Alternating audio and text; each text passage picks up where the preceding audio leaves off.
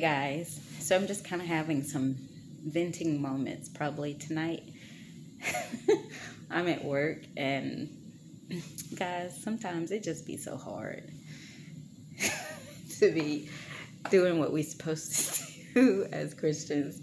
I mean, you seriously have to stay prayed up, you know, prayed up and just stay in the Word so that you can be led by God's Spirit and not what you want to do or feel like you have a right to do.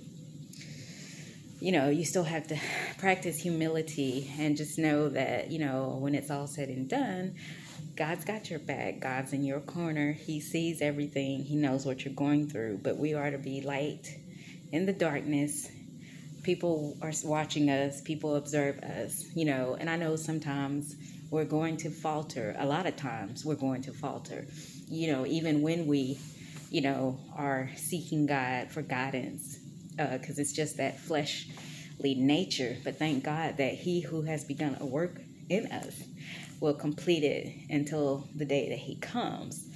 So we're just, that tells me that we're just continual works in progress, that we're never going to get it just all right right now. So rather than get flustered about it and it's like, oh, I can't do this, you know, or having the enemy looking at you, laughing, like, aha, you say you're a Christian, but you keep messing up here. You know, you say you've arrived and um, you've like been able to accomplish some aspect of things that you struggle with but then something else comes up and it's like or have you really because you know i thought you had gotten over that. I thought you could handle yourself better in that situation. And then that situation comes up you know but you know that's just a part of our daily struggle. Our daily struggle you know it's just something that's which is why we need christ every day which is why we need him because just imagine if we didn't, we wouldn't even have a recollect conscience, a conscience to like want to be trying to do right. Um, because we just, you know, just be have a heart and heart and just want to do what we want to do and we even give no thought of like should not be acting better as a child of god but yes we should because we are christ's representatives on the earth so, of course, you know, God knowing that we will endure and face certain difficulties in this life, which is why He sent us His Holy Spirit to help us. So, that's why we have to just continue to look to the Holy Spirit to help us. And even when we falter, we don't stay down, we get back up and we just keep pressing, pressing toward the mark. Like the Apostle Paul says, you know, not that I have attained it, but I keep pressing toward the mark of the prize of the high calling which is in Christ Jesus our Lord. So that's what we have to do. But uh, you know, I'm sure a lot of you guys can attest with me. It'd be a struggle. It'd be a struggle sometimes. And like I can like be at work and I see how I may have reacted to something and then when I think about it a little bit later, I'm like, wow, Karen, you just did totally opposite of what you speak about. And so, you know, rather than just beating myself over the head with it, it's a learning experience for me to recognize that yes, although I do try to put videos out to encourage and tell tell people, you know, how we should be and live for Christ, I also need the encouragement coming right back at me. And we just need to encourage and build each other up.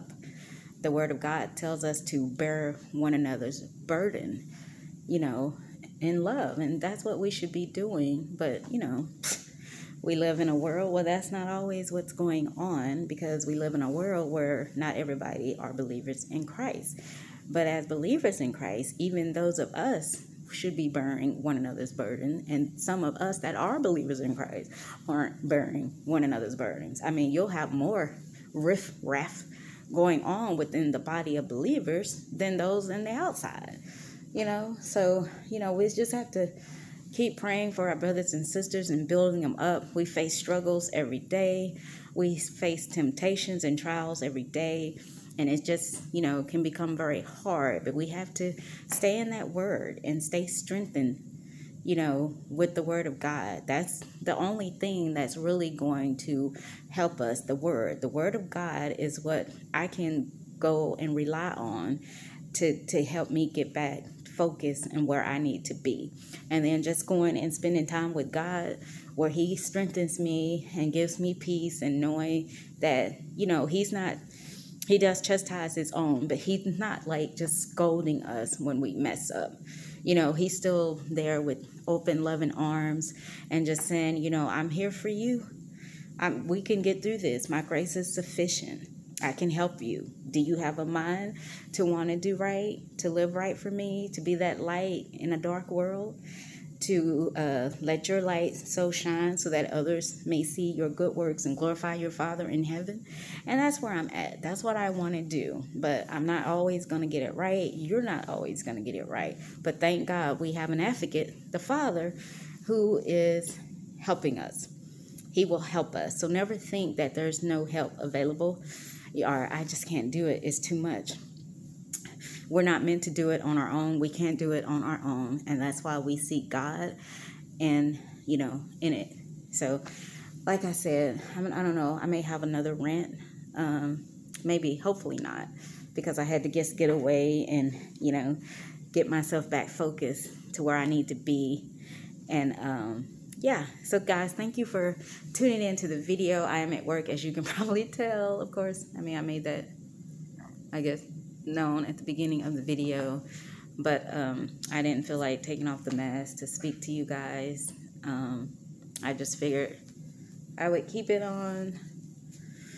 And now I'm about to go start my 12 hour shift or continue in my 12 hour shift. So, thank you guys again for watching and peace out.